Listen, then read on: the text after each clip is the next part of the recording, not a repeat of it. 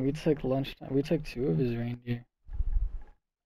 And I got a fucking 1v3 on Mo Cryptic and then like in a B bomb on uh, hotel. I, I tweeted out birthday gold or some shit.